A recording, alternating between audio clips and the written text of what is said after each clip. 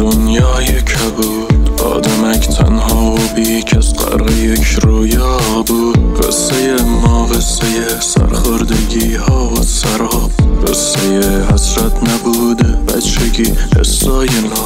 آدمک حیران و ویران از رسوم این زمان. عمر رفته پای رنج ها پای سطر ها روزها در حسرت همزیستی با کودکان. با کتاب و مدرسه با خنده های بی امان حسرت دست پدر. حس تحقیر و خطر حسرت کودک شدن جبر ناناور شدن شرم از تن پوش کهنه بوی تن شرم از خورده فروشی در وطن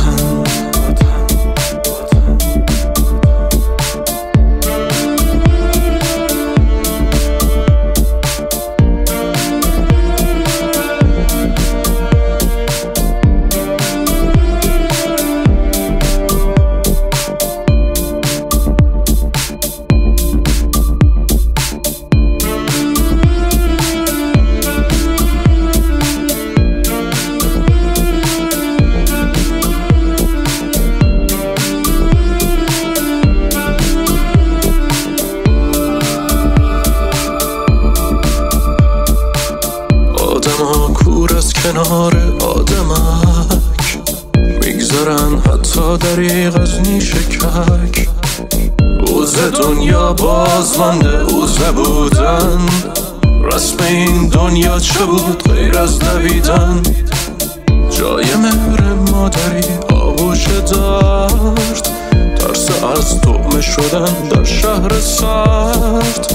ترس از آتیش سیگار پشت دست. ترس از نامردمان مردان مست. آرزوهای نوشته روی فال میوه های این درخت میتم و کار.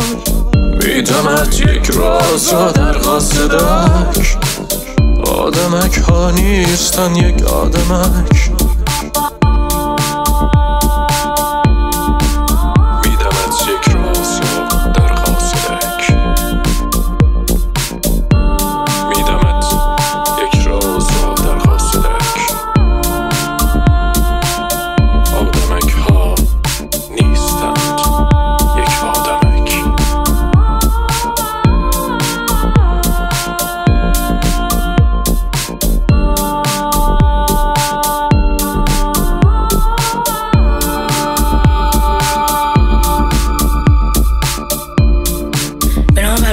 بزرگ سلام.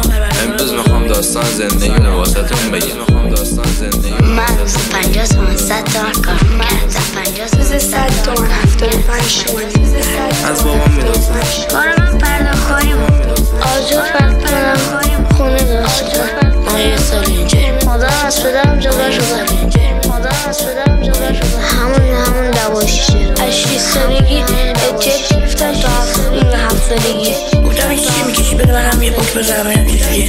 یه رو ول کردم افتادیم تو با می‌کردم خودم اومدم جنسی خودم خود معرفی کردم آقا معتاد خود معرفی فرمار کردم می‌زنه هروین داد من می‌کشم مواد بود هروین داد میگم نمونه معتاد بدن آمدم معتاد بدن آمدم معتاد بدن آمدم